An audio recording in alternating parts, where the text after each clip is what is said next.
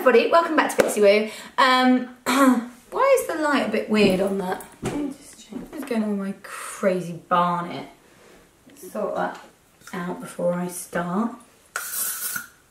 Hello everybody, welcome back to Pixiwoo. I've just got back from my holiday with my family and it was lovely. So nice. I'm in a really good mood. My hair looks crazy but hey ho it always does.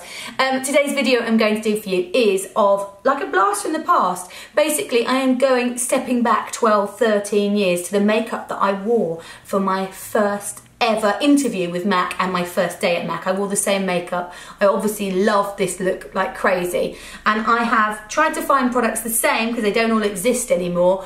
And um, I'm going to recreate that look. I'm, I'm going back in time.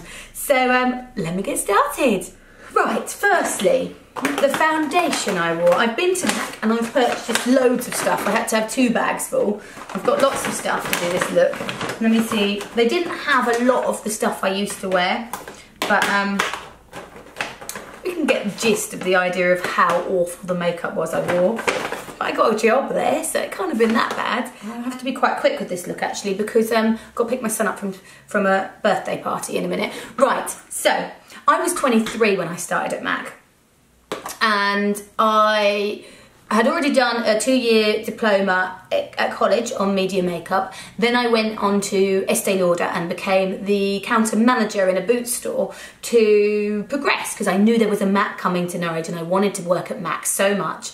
Um, so I did, I think, a couple of years at um, Estee Lauder, learning the trade, same company, so I knew it would go there. And then um, when MAC opened, I went for a job interview there and I got supervisor. No, I got assistant manager, got assistant manager. So um, let me show you the makeup that I wore for that. First of all, I wore Studio Tech foundation. Now, I love this foundation and I still do. And I wore it with a little bit of Fix Plus, spritzed onto the skin. Now, this makeup actually sold quite well when I had it on. I don't know why anyone would want to look like it, but well, who knows? I might fall in love with it again. Right, so a little bit of Fix Plus. I actually used a flat foundation brush, the 109 I think it was. Um, but we've come a long way with the brushes, so I'm not going back in time to use that brush as well. So just bath this foundation over my skin. I had a lot younger skin then. This is NW25. But I always thought this foundation sat really beautifully on my skin because I have a um, dry normal skin. I don't have pores really. I have um, quite a dry skin but makeup sits well on it. It's not flaky, it's just dry. I still very much love this foundation. They'll probably discontinue it along with all the other stuff that I wore back then. But things move on, don't they? Then onto the eyes and I actually used um, Aquadisiac, which they don't do anymore. Why would they discontinue such a great colour? Who knows? And also um, a little bit of Steamy, which is this one here. Or is it, is it Steamy Frost? Or actually, I think it was called Teal Blue back then. Can't really remember exactly, but that over my eyes. So let's start off with the Aquadisiac first. Now, guys, anyone so I started MAC when I was 23, just about to turn 24. Um, if anyone, this is 2005, so if anyone was a MAC artist back then, you will remember it was the good days. I don't really know what the days are like now at MAC. Got a bit of fluff hanging off this. Don't really know what the days are like now at MAC, but they were great fun days. We could wear what we want. We could be, hmm, we were hungover. We probably couldn't have been hungover. We were very hungover a lot of the time. I had such a great group of girls that I worked with. I don't think we had any guys in the Mac in Norwich. Then I moved to the London store and we had some great guys and girls and all we did was go to the pub. We all went to the White Horse every night after work. But uh, yeah, I just went into Mac and I was trying to find stuff that I used to wear and so much of it has been discontinued. Why would they discontinue Belightful? It's like literally the best highlighter. None of the others, none of these new mineral skin finishes stand the test of time. Belightful was the best. Wasn't great for darker skin, I have to say. There wasn't many highlighters then. Now they do a lot more. I always had to use Style Blusher as a highlighter on darker skin. It's come a long way, at least with that. So Aquadisiac, what a colour, hey? Can hear you're all so jealous. I'm going to put a little bit of steamy. And I just pop that. This was one of my palettes from when I worked at MAC, so you can see the colours that I liked. And um, these Aquadisiac and Steamy have got holes in. That's how much I love them. It's not even over there yet. You wait. There is so much more fun to be had. Then I used to take MAC Minted pencil and I would run that along the top waterline, and no, no, top lash line. Now guys, if you, um, if you have a favourite colour that you used to wear all the time at MAC, it's been discontinued. Let's know what it was. Put it in the comments below because I want to know. Because you forget all these amazing colours that used to be there, like ochre and stuff like that, the colours that they used to create, that they just stopped. And you're like, no! So I then put a little bit of minted. But I take that inside the eye. So it was all over green. Inside the waterline, both top and bottom. I'm not finished there with the green, guys, with the green love. I then took this, which they now discontinued. This is called So There Jade, which is a um, PowerPoint eye pencil. Ooh, dropped it. PowerPoint eye pencil, and it's a little bit lighter, and I would run that over the top, so it gave it this kind of lighter, shimmery finish. Not really necessary, but I did it. Underneath as well, mustn't forget the underneath. You would think that I would finish with the green there, but I don't. I then had a green mascara and it was called Boston Fern. They don't do it anymore, but I have found a green that is um, a Marc Jacob one, which is similar. So I would then pop tons of mascara on in Boston Fern. Back then as well, you used to have every um, single employee would get a product manual. It was like your Mac Bible.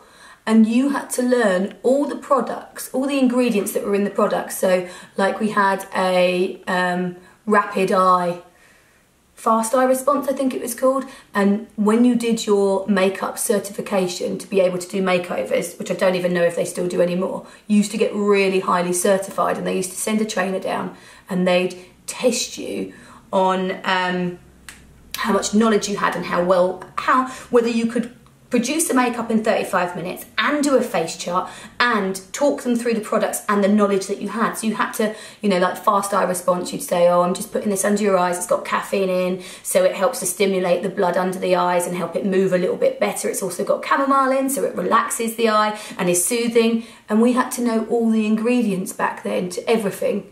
I think that's why Mac was so sought after. It was literally the only place where you got actual makeup artists doing your makeup and they actually had amazing knowledge.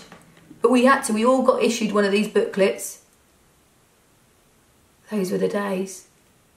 Green mascara.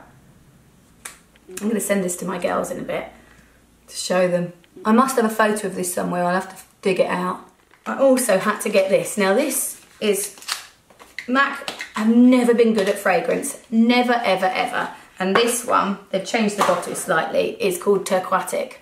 And this would always remind me of MAC. It's um, like a fresh, weird smell. But all it reminds, reminds me of is farts. Because I worked with one girl that had terrible wind and every time she would break wind, people would spray this like, oh, go away. I'm not going to disclose her name because it's really unfair to do that. But they all spray, and now this reminds me of farts. The end. Okay, let's have a look at where I am with this makeup. I had a couple of concealers I loved when I was at MAC and then it went on to MAC Moisture Cover, which I also love. But I started off with Select Cover Up. I love this one and I still do for blemishes because it goes on as a liquid and then it sets as a matte, which I really, really like, especially if you have a little stubborn blemish, which I have here, you can push it in and it seals. And also this one, because when you've had, this is um, uh, Studio Finish Concealer, when you've had a heavy night, this conceals everything. It does have a flashback, so you have to be careful though. I'm going to use Studio, Finish Concealer. Got a couple of blemishes, let's cover them. Nothing is getting through this bad boy. This is the Concealer of Champions. Who knows what film that line is from. Take out the concealer and replace it with something else. Okay, onto bronzer. Now I had two bronzers that I used, MAC Golden Bronzer and MAC Matte Bronzer. Now, if you remember matte bronzer, it couldn't, I think they still do it, I'm not sure, but it couldn't, um, I'm going to use golden first while I chat. It didn't blend over any makeup when it hadn't been powdered. In fact, it sometimes didn't blend over when it had been powdered. It was so matte that it just stuck to the skin and you'd get like lines where it was. So I used to use my golden bronzer first to create a bit of shape and whatnot. And then I would use my matte bronzer as a more of a contour.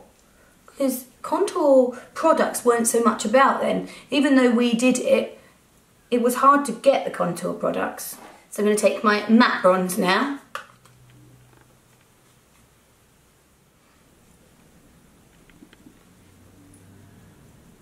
I wish I still had my MAC Bible. It was so epic.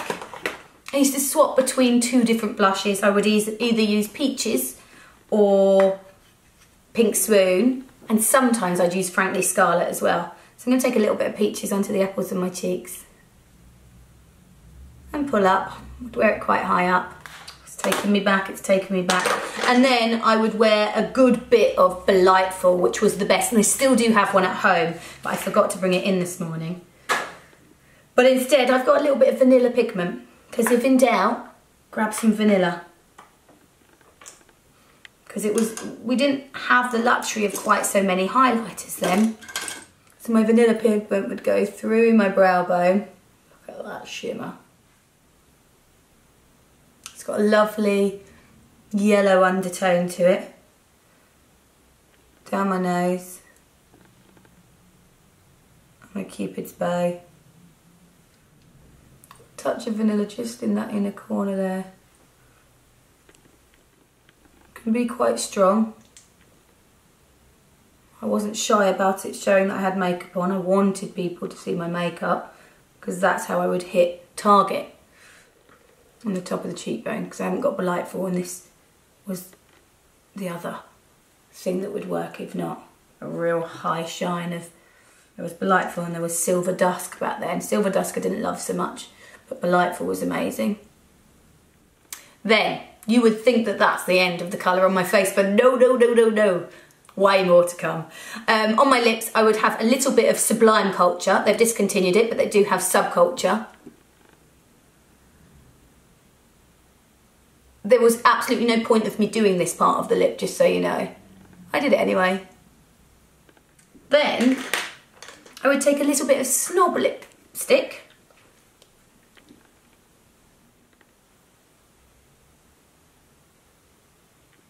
You'd think that was enough. Not for me.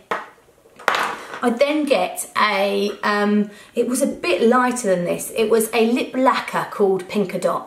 Um, this one's Saint Germain, and it's the most similar one I can find, but nothing can replace Pinkadot. It was possibly the worst colour ever. It was like this, but more lilac. And I would cover so that it was literally glooping my lips.